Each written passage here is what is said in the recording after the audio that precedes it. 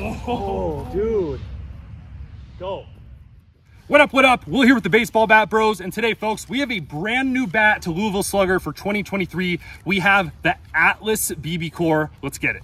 All right, folks, so for the first time since I think probably like 2019 or so, uh, Louisville Slugger has an entirely new BBCOR bat here. Uh, this is the Atlas, and I think this is meant to replace the solo BBCOR bat. So they're balanced, light swinging one piece. So we'll see if it is close to the Voodoo one, but decent price point, only $300 on this. And they're saying this is a completely redesigned barrel interior. This is supposed to have a lot more forgiving barrel than uh, the solo and even the Omaha. We'll give it a try here. Definitely put it against the Voodoo one and see if the Atlas is gonna kind of jump into that top three or top five BBCOR conversation. Let's get it.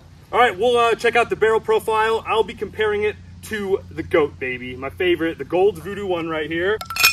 Okay, so a little more girth on the Atlas here, a little bigger barrel profile. I do think this is gonna swing a little bit heavier. That's the vibe I'm getting initially here. We'll set a baseline with the Voodoo one, get the Kraken on there, and then we'll move on to the Atlas and uh, see if this thing's for real, guys. They're they're hyping it up a ton. And we're back on the crazy field, the grand piano field as we call it. 405 to left. Let's go.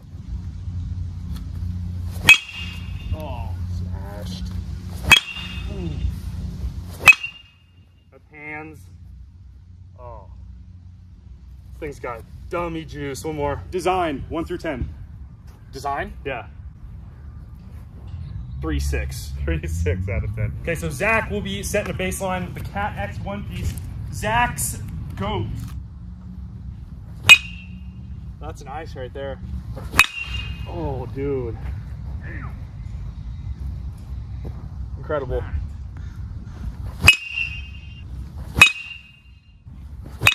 Oh. Dude, I'm hitting low lane.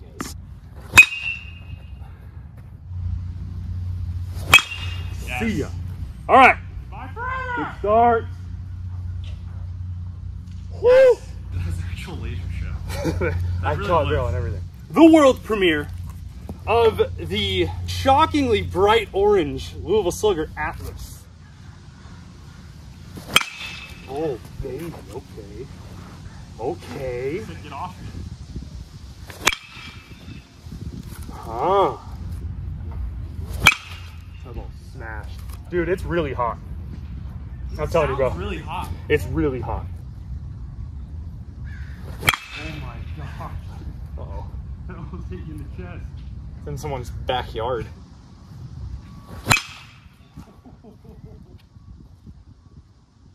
That does sound really Dude, it sounds really good. God, it feels really good. That's hands. Got under it a bit too. But dude, that ball's really traveling. Oh my goodness, that's right on the fence. That ball touched, dude. Absolutely crushed. That's a ground rule double, bro. That's literally 405 out there. Dude, the barrel actually feels forgiving. Really? It actually feels a bit more forgiving than the Voodoo. Probably more like the Cat X One Piece. I It's like it. Yeah, it's a little heavier, definitely. Not quite as light. And that, I'm telling you, the barrel feels surprisingly big. Especially like I was thinking about this bat as the solo and feels quite a bit different, honestly. Oh my goodness, that was hammered. Oh my goodness, that was hammered. That's got a shot, legitimately. Yo, that's that's a 400 foot shot and the wind is blowing in a little bit.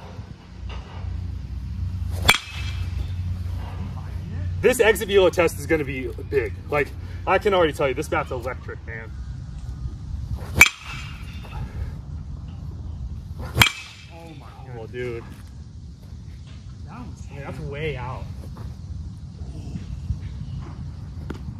Dude, I went into this with pretty dang low expectations. I thought that was just gonna be a repaint of the solo from last year. Way Maybe- different. Dude, it's like what what the one piece Cat X is. What Yeah, Marucci yeah, did. a very redesigned bat, and I think Hey. like it's good. Good job, Louisville.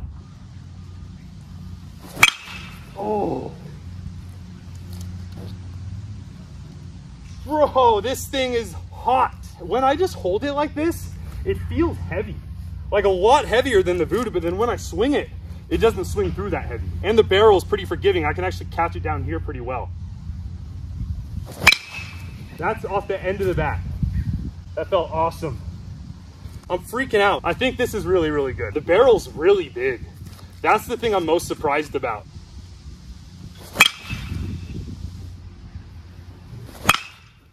That's gone, dude. Stay fair. So far gone. Very controversial. Way out. Could have been fair, could have been foul. Dude, I feel like I could pop like like a 105. Worst field to do that, but that's smack. No, but that will hammer. It feels good, dude.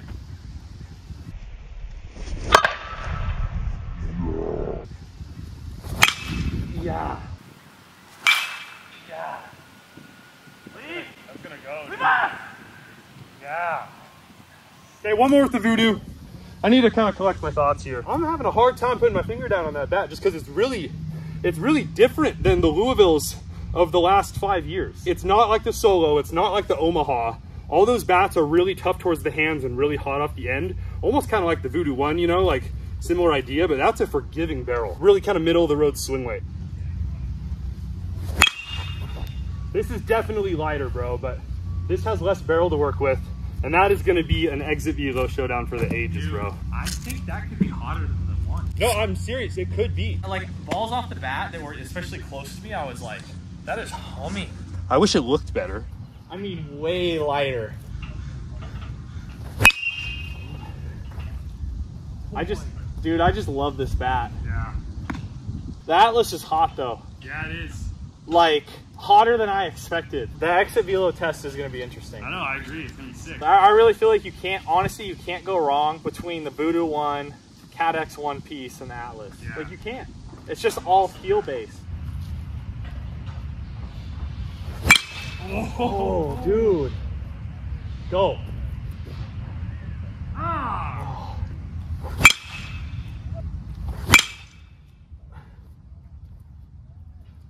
Fish that out. Oh, damn. The barrel's big, man. Dude. And it's like both ways. Yeah. Like I- I've caught I balls know. here and it's It's like, off the hands and off the end. with all the Louisville bats I've swung, it's always been All toward the end.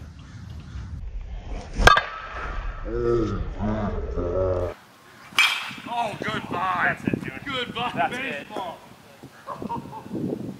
I'm it's done. really freaking good.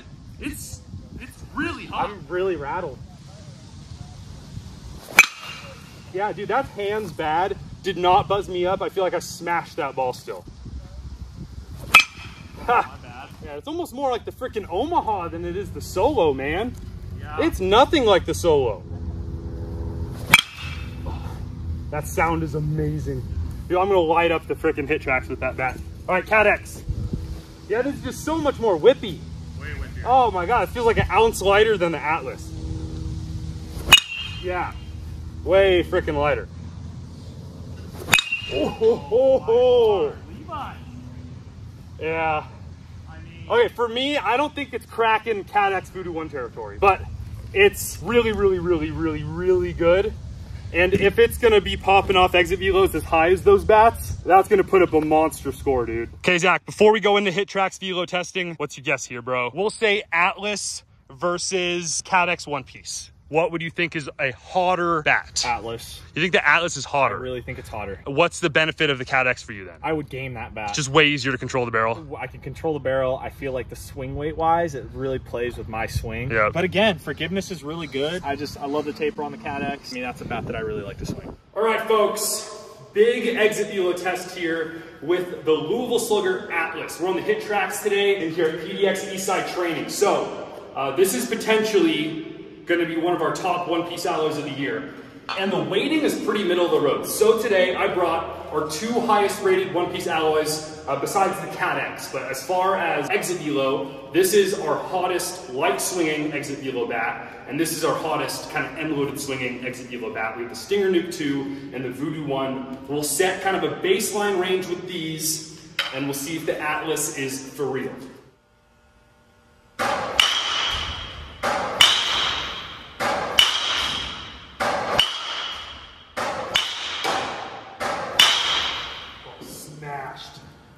1.26 with the nuke. High of 1035, but it was kind of low.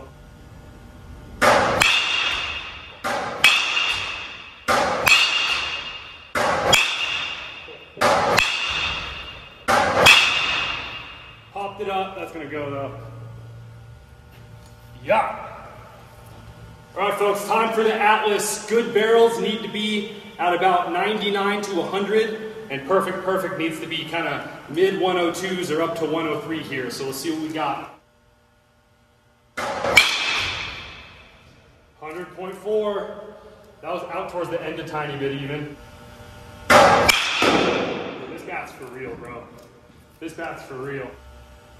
I got beat. 99 2 still. All right, as far as swing weight and end load go, at the very most, this is gonna be a five swing weight. This is middle of the road swing weight, if not slightly balanced. Could potentially be around a six. All right, that was pretty good barrel for 1014. Sweet spot, dude, we're looking at like a seven or like probably an eight. This is, dude, this is gonna put up a big score. This bat's very good. I wish it looked cooler. Yo, 103.8. This bat's electric, dude. Smashed. Holy smokes, dude. 398 on the line. That's hands. Doesn't hurt though, and went 380. Dude, this is like so not the solo. I'm very happy about that. You know what this feels like? I swear, dude, this feels like the Easton XL3. This feels like the banana bat. It has that giant barrel. It has the like shockingly controllable swing weight, and it's juiced.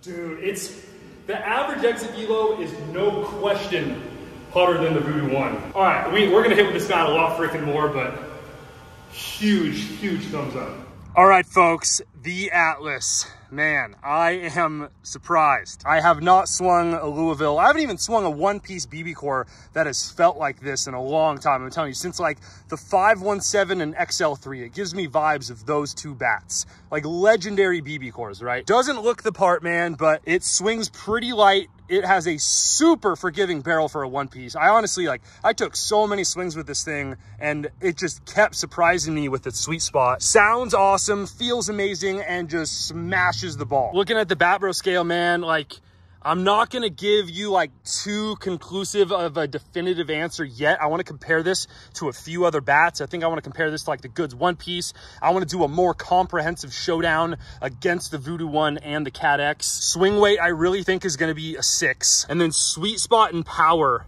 Like, dude, there's legitimately a case for an 8 and a 10 that would shoot this thing to the number one overall bat and I'm not ready to declare that yet. This is just new and I, I still need to hit with it more and explore this bat a little further but I think it's very very reasonable to to say a seven and a half for sweet spot and a nine and a half for power like a noticeably more forgiving barrel and a bigger sweet spot on this than the Voodoo one for sure. And like even the Cat X, like a lot more forgiving and especially the performance down towards the hand. It's just hotter on those slight mishits. It feels like it's still the meat of the barrel. The best way I could describe this thing is a slightly heavier swinging Voodoo one with a much more forgiving barrel.